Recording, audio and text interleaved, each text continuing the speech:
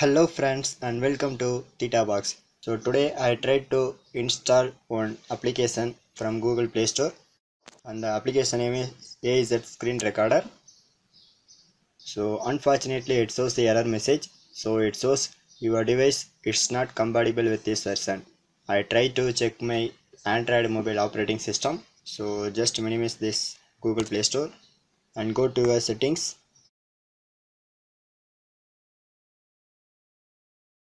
so here you can scroll down then go to about phone. So here you can press android version. So here you can see my android mobile operating system is KitKat. So I try to access the same application in my new android mobile. And here you can see this is my new android mobile. So I try to access the same application from Google Play Store.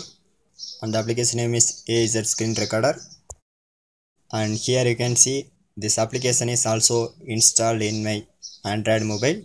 So i try to check this mobile operating system. So just go to your settings then scroll down. So here you can go to about phone.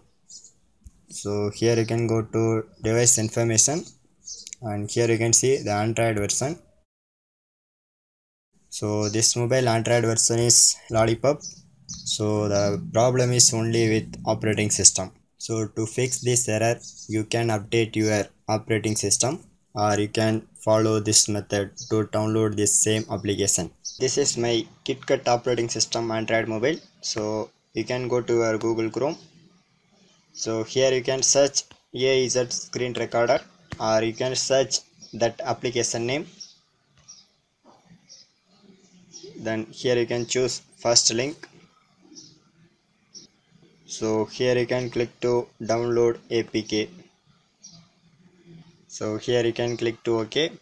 And here you can see now the file is starts to downloading. So this is the way you can fix your errors.